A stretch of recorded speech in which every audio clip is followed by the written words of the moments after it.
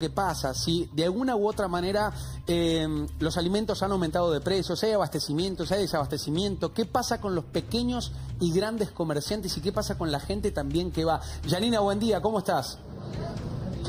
Hola, ¿cómo te va? Estamos en el mercado central donde hay clientes que recién nos estaban comentando que en el, local de su barrio, en la carnicería, en la verdulería, los precios son más elevados y por ahí tienen que trasladarse caminando, tomándose un colectivo para poder venir al mercado central y conseguir la carne un poquito más barata, Nicolás. Acá estamos viendo, por ejemplo, algunos de los cortes eh, más económicos o más rendidores para la familia y proponerte algunos precios. Por ejemplo, la carne picada, que está a muy buen precio. Mira, Aquí justamente el señor la está embolsando. 120 pesos el kilo de la picada común.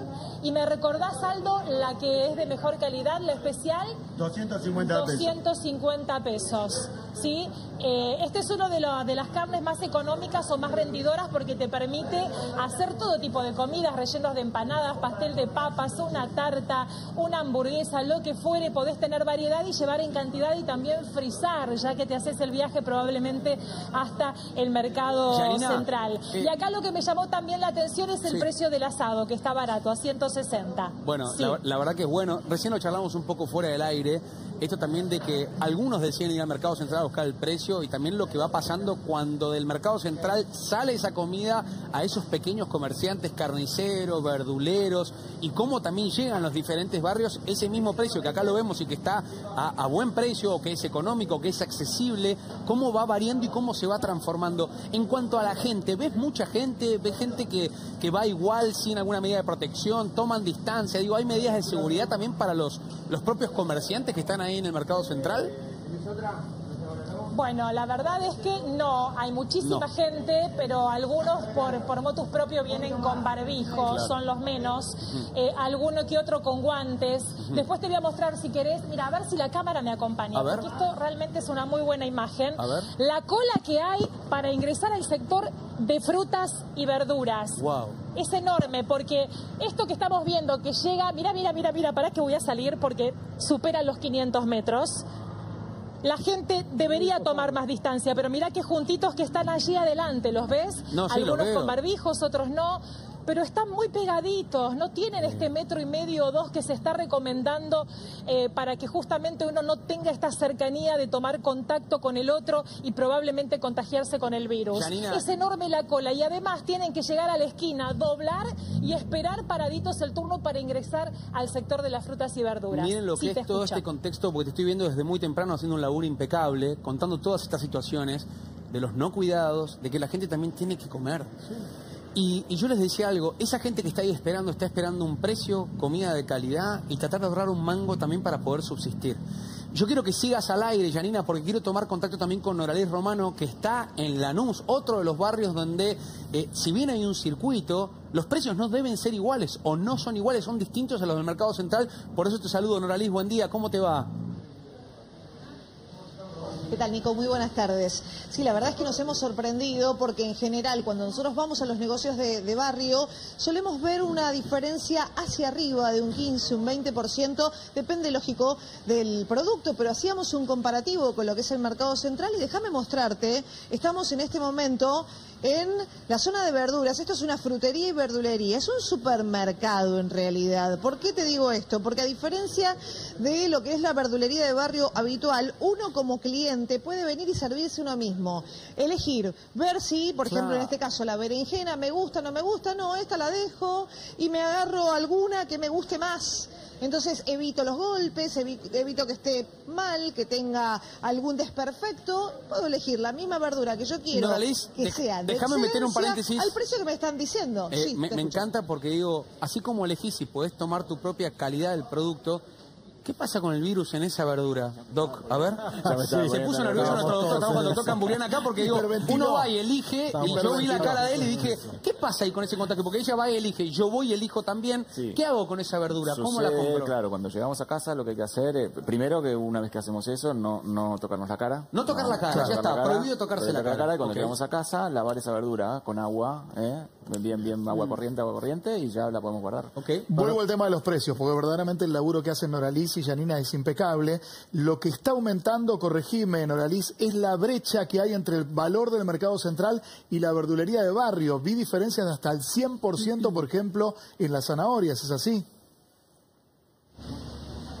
Así es, así es. Algunos productos particularmente que el mismo comerciante eh, dice, no sé por qué, mira, vamos a acercarnos a la Perfecto. zanahoria, porque vos bien decías, hay una gran brecha entre lo que es el mercado central. Es muy buena la zanahoria, es muy buena la calidad que tenemos, pero el kilo de zanahorias, aquí está 120 pesos el kilo. Igual si que se mi quiere barrio. es la mayor brecha que podemos mostrarte, porque después te digo que la peleamos y la peleamos muy bien desde donde estamos, ¿eh? Eh, no, ya lo sé, estás haciendo un laburo impecable. Y digo que hay ciertas verduras Sí. que permiten generar un montón de comidas diferentes. La zanahoria, digo, va para Sí, ensalada, como para una tarta, para cosas, como la papa también. Son verduras que la gente accede mucho porque tenés mucha variedad. Pero tenés la diferencia no solamente de mercado central a lo que es las verdulerías, sino cada barrio también tiene su propio este, universo en cuanto a precios. Mm. O sea, yo estaba pensando que las carnicerías de mi barrio, por ejemplo, vos entrás con 300 pesos para arriba. O sea, Sí. no vas a conseguir algo quizás por 150 pesos. Y también está la realidad de la gente que dice, yo no sé si con esta situación me voy a ir a buscar precios de local en No, local. y además no llegan al mercado colas, central ¿no? porque No te llegás. retienen. No podés ir al mercado central si vivís en Villa Crespo. Bueno. Porque no tenés autorización ver, para llegar. Eh, Claro. Nora- Noradis, quería preguntarte, ¿hay algún faltante de alguna verdura, fruta en especial? ¿Me escuchaste, Noralis? No, no tenés faltantes, por lo menos en, Hay de todo. Sí, por lo menos en este en este momento sí, obviamente, el brócoli no tienen brócoli, no tienen hay, hay dos o tres verduras que le falta, pero no por faltantes, sino porque se han quedado después de vender tanto. Déjame decirte que este lugar abre a las 8 de la mañana, sin embargo a las 7 veíamos una fila enorme. ¿Me permitís hacer el, el- la- la- el movimiento? Vení, vení. A ver. Vení, disculpe la desprolijidad, pero creo que vale la pena. Eh, ahora vamos a seguir con los precios, pero déjame mostrarte la cantidad de gente que desde las 7 de la mañana que nosotros llegábamos y todavía el local no estaba abierto, nos llamó la atención eso. Mirá la cantidad de gente que, claro, están guardando distancia y demás, pero ves esa, eh, ese, esa hi- hilera que va y viene, esa viborita que va Igual y viene. veo pues algo todos positivo. ellos Veo algo están positivo. queriendo venir acá. Veo algo positivo respecto al mercado central, que vuelvo a tomar contacto en Oraliz con Janina, porque eso no estaba pasando Claro. en la fila que hay para comprar frutas y verduras, por lo menos el espacio entre gente y gente, el no hablar, el no conversar, para evitar también el contagio. Janina, vuelvo con vos, que sé que tenés acceso ahora al tema de fruta y verdura dentro del mercado central. Estamos en los dos puntos quizás más importantes de consumo eh, en la provincia de Buenos Aires. A ver, Janina. Mira, este es un punto neurálgico. Aquí vienen miles de personas cada día que transitan por este mismo lugar. Más allá de mostrarte esta imagen que es la de la fruta y la verdura, quiero ver que veas el pasillo. Mira cómo No, no. transita la gente. Eh, para llegar hasta aquí hay personas que han esperado varias horas y han caminado unos 600 metros de cola, claro, ¿sí? A ver, señora, ¿usted hace mucho que vino a comprar? ¿A qué hora vino? ¿Temprano? Una hora más. o Una menos. hora. Sí. ¿Pudo llegar rápido a este lugar? No. ¿Sí? Complicado, Sí, complicado. Tuvo complicado. que esperar, hacer la cola. ¿Alguien eh, los está dirigiendo, por ejemplo, para que tomen distancia? Sí, ¿Los policía. aconsejan? Sí. ¿Está la policía? Sí, está la policía. ¿Hay alcohol en gel también? También, también. También, les dan alcohol en gel en la puerta. Bueno, eh, la gente viene y la verdad es que es continua, está abierto hasta las 5 de la tarde. Ahora vos, Fíjense acá Janina. cómo están paraditos uno al lado del otro, Nicolás, Sí, mira, sí, sí, todos los veo. pegaditos. Te estaba por comparar esta imagen y yo sé que vos permanentemente estás en la calle en contacto con la gente. Primero resaltar también tu laburo y el de, y el de porque ustedes también se están exponiendo y mucho, y la verdad que me llena de orgullo que estés cumpliendo esta, función de tu profesión y a nuestra cámara también, a nuestros cámaras que están afuera con todo. Lo quiero resaltar y lo voy a resaltar permanentemente porque de verdad digo, qué bueno poder contar con ustedes. Y además pienso, digo, teniéndolas a las dos en cámara en este momento, que si no estuviésemos en esta situación de cuarentena, si no estuviésemos viviendo este fenómeno, esta pandemia del coronavirus, vos me mostrás una imagen del mercado central o una imagen de la verdulería y te diría que pareciera un día cualquiera, donde la gente también está junta, pero con un riesgo que es invisible.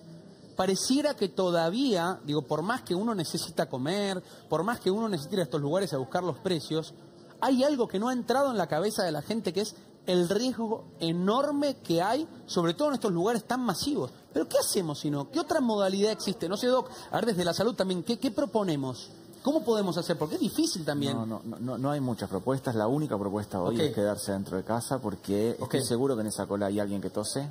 No sabemos si está infectado o no, pero tenemos que pensar que sí. Ok. Yo trato Eh, también de entender los que están haciendo la fila, Bueno. están tratando de comer a buen precio. A en este claro, país, cual. es en nuestro país, es casi una fantasía. Cuando uno ve los precios que nos acerca Janina del mercado central, para muchos habitantes de la ciudad de Buenos Aires son precios de Walt Disney, son una película de fantasía. Esos precios no están en el local Pero de la proximidad. autorización es para vos moverte cerca del negocio, cerca de tu casa, a la manza- en la manzana, no irte al mercado central. Y entiendo claramente lo que vos decís. Digo, pero ¿qué hace la, la- la- la- la persona? Puede salir con autorización hasta el, la Hasta ahí nomás, hasta ahí hasta nomás. Por eso digo el mercado central. Una cosa importante, eh, les agradezco de corazón tanto a Noralis como a Yanina, eh, de verdad el trabajo que han hecho, no solamente para el noticiero, la gente del también, sino por estar para, para nuestro programa también. Eh, agradecerles nuevamente por la información que nos han traído, eh. de verdad a las dos, agradecerles de corazón. Al contrario, chicos. Gracias, porque es la realidad la que nos preocupa y la que nos ocupa para poder contarte lo que está pasando.